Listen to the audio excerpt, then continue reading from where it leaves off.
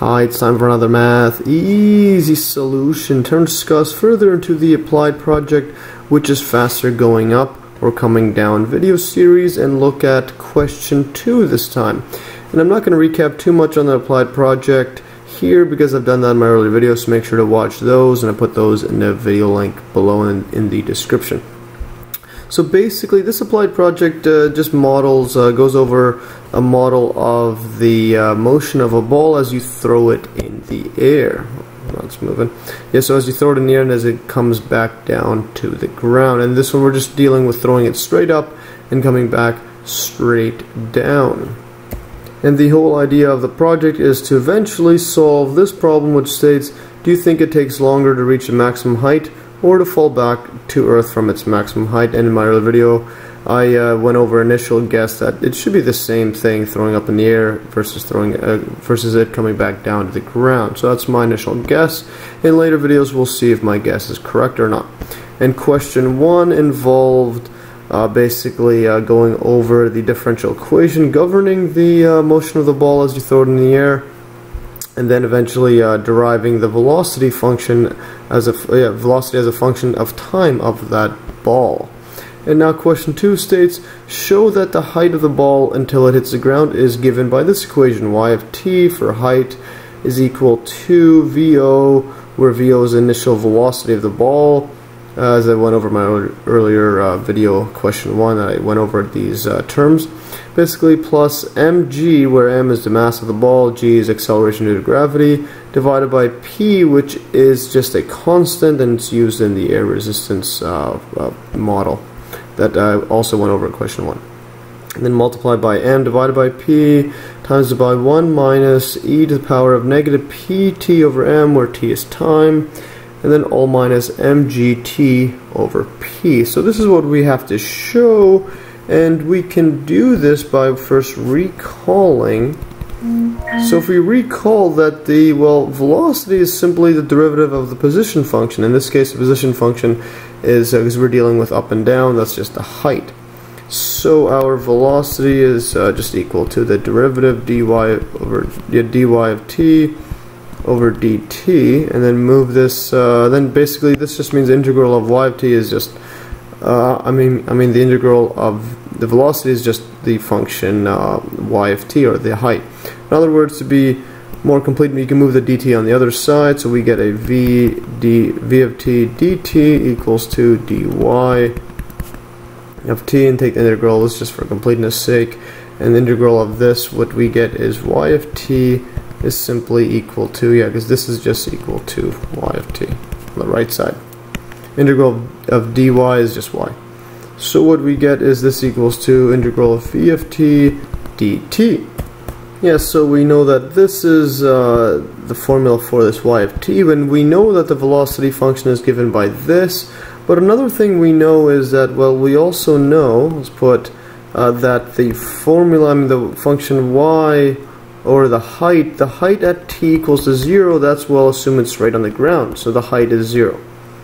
So we assume that at time zero, the, we haven't thrown the ball yet, or just as, as we throw it, it starts off from the ground, and we're putting that as the height is zero. So this is initial value that we know, and this is the formula for y of t, which is the integral of the velocity. So we just have to integrate this velocity function, so plug that inside. So integral of, and then let's just see if I can remember this. VO plus mg divided by p, and then e to the negative pt over m minus mg over p. So this is VO plus mg over p. This is times it by e to the uh, negative pt over m, and then, well, we minus mg over p and then this is equal to, well, and then put the, put the dt there. And let's just see if we double check, it's exactly the same. VO plus mg over p. Yeah, looks like it. So that's the, yeah, this is a very uh, tedious spreading all that down. So that's what we have, and now we could just take the integral. Remember, these are all, all constants. Only thing now at constant is this t function. So what this means is that integral of this is just, well, VO plus mg over p and then the integral of this right here e to the negative pt over m, well, that's just, uh, and then when then we divide that out. So that's just going to be, uh, put this bracket like that, e to the negative pt over m, in, integral of uh, e is just itself, but now we have this constant negative p over m. So what we do is we have to uh, divide this out. So 1 divided by negative p over m, or otherwise negative p over m, the m goes on top. So put that above here. So we get m divided by negative p like that.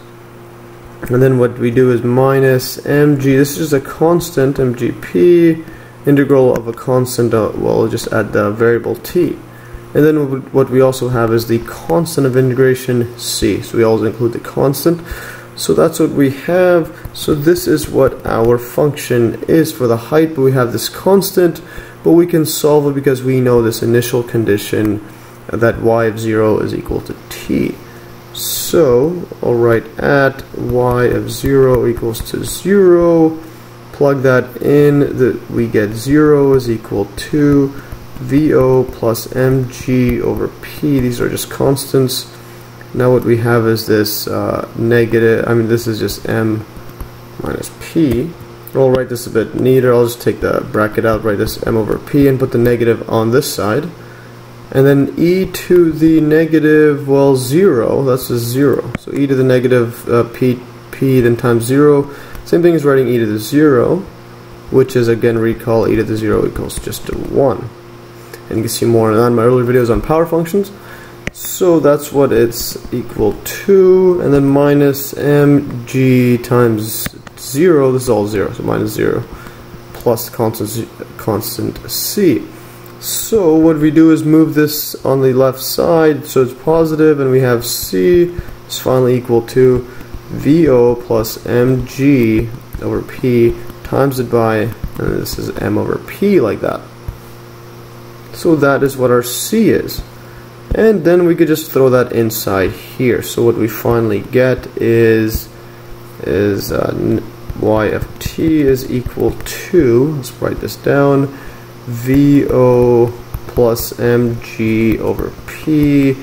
And then this is going to be this is m over p. I'll move that negative outside here. Have this m over p like that. And then e to the negative pt over m and then minus mg t over p so it's just a lot of uh, tedious writing and then finally we add the c which is plus, I'll add the plus right here actually, just, uh, just to make some room here. So plus VO plus MG over P over P times M over P. And as you can see, this is exactly the same thing on top here, so we could just factor that out. So this equals to factoring out the like terms, which is this VO plus mg over p times m over p, we get, and also, uh, yeah, so we'll factor that out. What we get is VO plus mg over p times m over p. So we take that out. When we take this out of this one, we just get a 1. So we get a 1 and move this on the other side. 1 minus, because there's a negative, e to the negative pt over m. Let's write this a bit neater. Negative pt over m.